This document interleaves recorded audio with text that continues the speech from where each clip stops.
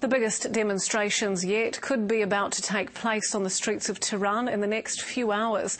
One of those who'll be trying to follow the events is a 22 year old journalism student here in New Zealand. She lived in Iran until she was five and visited just recently. Laura Turner reports. Whether it be by mail or internet, Shabnam Dadgabi talks to her friends and family in Iran most days. Their message is always the same. They're just angry. It's been 30 years of basically being suffocated. There's no social freedom. There's um, morality police who judge girls and guys on what they wear. The protests against hardline President Mahmoud Ahmadinejad haven't abated.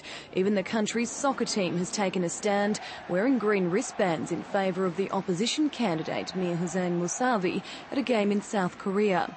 The uprising is now in its sixth day, and it's the demonstrators themselves who are taking the pictures. Now journalists are finding it impossible to work.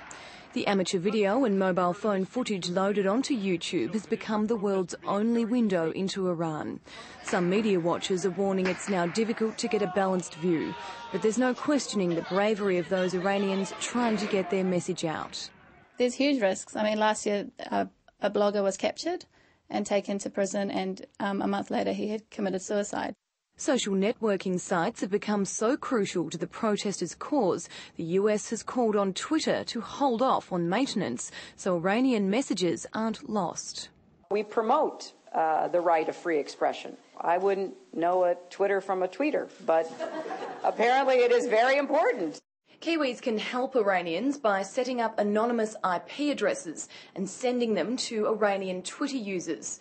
This would make it much harder for Iranian authorities to track and block users. Laura Turner, 3 News.